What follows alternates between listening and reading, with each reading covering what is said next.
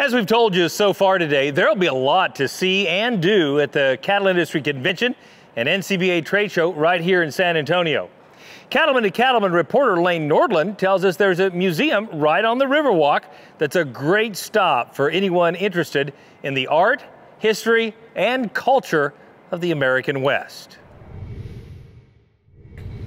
The Briscoe Western Art Museum, located on the banks of the historic San Antonio Riverwalk, brings to life the vibrant culture and heritage of the Western United States. The Briscoe Western Art Museum has been open since 2013, and we are fortunate enough to be in the original San Antonio Public Library building. So our structure is beautiful. We are directly on the San Antonio Riverwalk, and we're the only museum that is um, in the downtown area that you can reach via the Riverwalk. The museum offers a permanent collection of Western art and artifacts, which gives visitors a chance to learn about the many diverse cultures that forged the American West.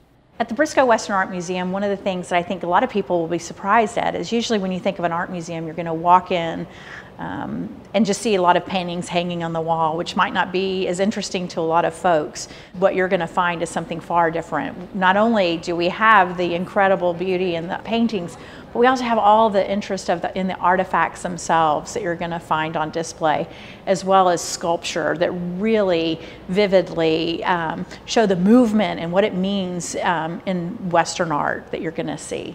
The museum houses both original and replica pieces dating back to the mid 1800s. Highlights include an authentic reproduction of a Wells Fargo stagecoach, as well as an entire exhibit that focuses on saddles and spurs. I would think that um, anyone coming into the Briscoe Western Art Museum would love to see our spur collection.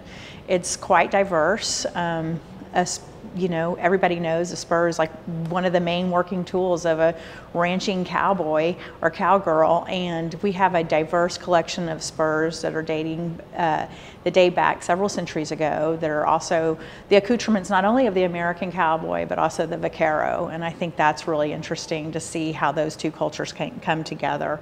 Um, we also have a very unique collection of saddles that are quite unique. One of the most unique saddles we do have is Pancho Villa's saddle, but we also have a show saddle of Roy Rogers that's also on display here at the museum. We have a whole area dedicated to the story of the Alamo that maybe you won't actually see when you're at the Alamo, and that is a large diorama piece that really gives you an idea of just how big and what the Texans were up against um, with the Battle of the Alamo. It's a diorama and it's got all the soldiers and it's got all of the invaders coming up to it.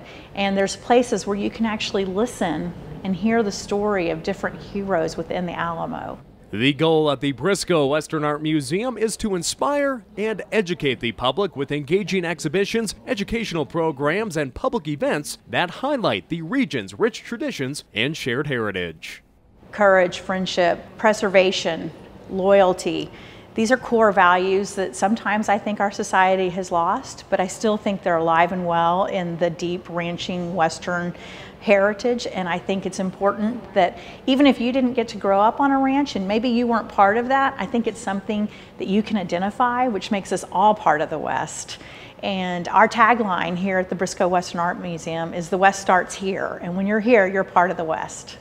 Reporting from the Briscoe Western Art Museum in San Antonio, Texas, I'm Lane Nordland for NCBA's Cattlemen to Cattlemen.